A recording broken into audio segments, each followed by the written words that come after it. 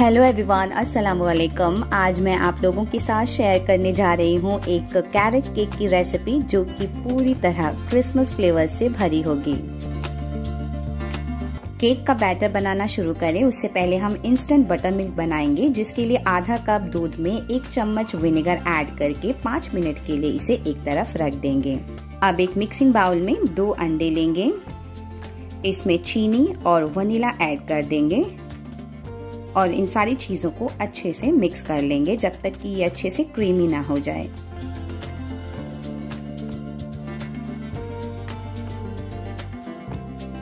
अब इसमें ऑयल के साथ हम कुछ स्पाइसेस ऐड करेंगे। इसमें है सिनेमन कार्डमम और जिंजर पाउडर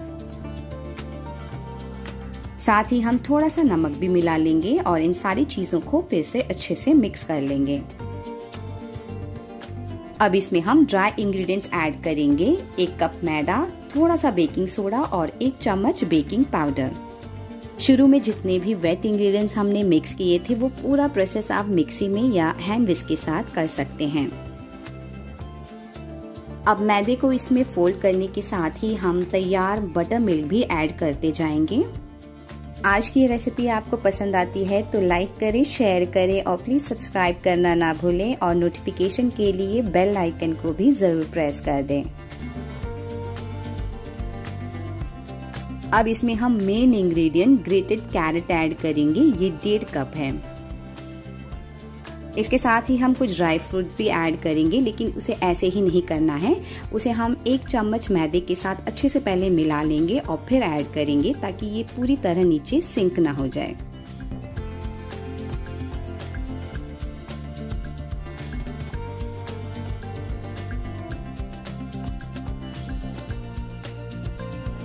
कैरेट केक का बैटर रेडी है। आइए इसको एक ग्रीस्ड मोल में डाल देते हैं।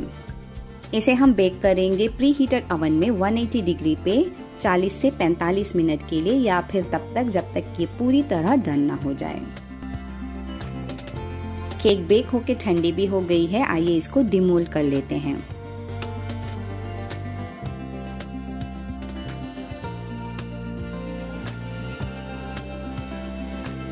अब इसके ऊपर क्रीम या पाउडर शुगर डस्ट करके या सिर्फ़ ऐसे ही इसे आप इंजॉय कर सकते हैं। लेकिन आज मैं एक cream cheese butter cream frosting बना रही हूँ, जिसके लिए एक कप क्रीम चीज़ लेंगे और उसमें थोड़ा सा वनीला ऐड करके इसको अच्छे से फेंट लेंगे।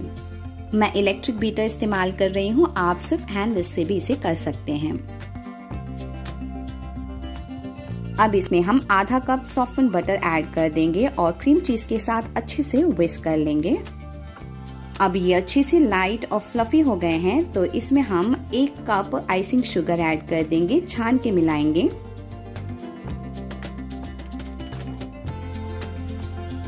अब इसको भी क्रीम चीज़ और बटर के साथ अच्छे से मिक्स कर लेंगे।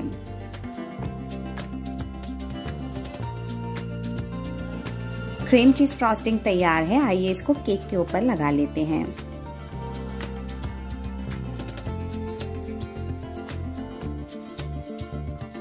ये कैंडीड कैरेट है, जिससे मैं केक सजा रही हूँ। इसको बनाना बहुत आसान है।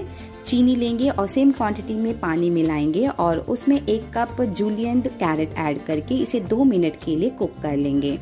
अब ये सॉफ्ट हो गए हैं तो इसे हम एक छलनी में निकाल लेंगे।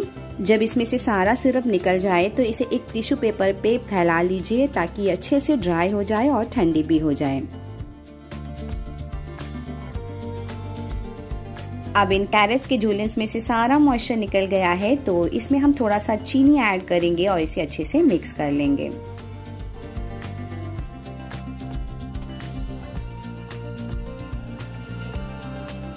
तो तैयार है कैंडीड कैरेट गार्निश